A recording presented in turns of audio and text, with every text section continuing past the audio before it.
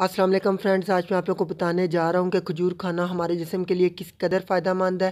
اس کے this amazing benefits کی بات کروں گا، لیکن ویڈیو شروع کرنے سے پہلے آپ لوگوں سے ریکویسٹ ہے کہ پلیز میرے چینل کو ضرور سبسکرائب کر لیں۔ کھجور خون بناتی ہے، بلغم خارج کرتی ہے، سر درد کے لیے بہت مفید ہے، میدے کے زخموں کے لیے بہت مفید ہے۔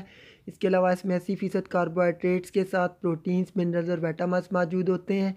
چکنائی بہت کم ہوتی ہے اور کولیسٹرول بالکل نہیں ہوتا۔ تو فرینڈز نیکسٹ بات کروں گا، اس میں ریشہ موجود ہوتا ہے، جس کی وجہ سے خوراک کو فوراً ہضم کرتی ہے اور انتوں کو متحرک کر کے کانسٹیپیشن سے بچاتی ہے۔ اس کے علاوہ آپ لوگوں کی فوری توانائی کو بحال کرتی ہے، کمزوری دور کرتی ہے اور آپ لوگوں کے چہرے کو، رنگ کو نکھارتی ہے۔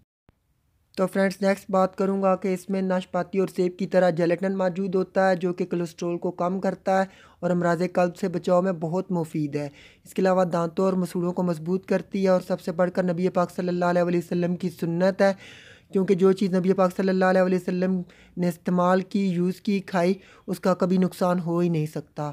امید کرتا ہوں فرینڈز، آپ لوگوں کو میری ویڈیو پسند آئی ہوگی۔ Thanks for watching my video please subscribe my channel اللہ حافظ۔